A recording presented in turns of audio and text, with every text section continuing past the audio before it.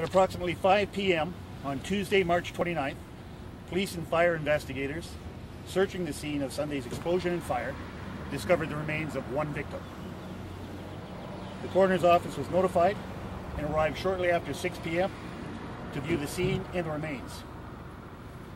The very slow process to recover this victim will take place throughout today. After which measures to positively identify the victim will take place in London. The delicate search throughout the debris to locate the second missing person will continue throughout today. The families of both potential victims have been notified of this recent discovery and in this tragic time have been offered the continued support of the Oxford or the victim services of Oxford County.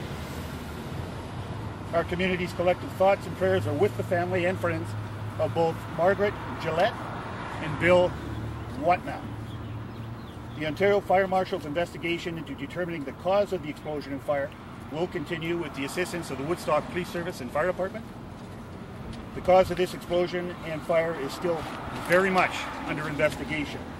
And at this point, there has been no determination of cause by the investigators.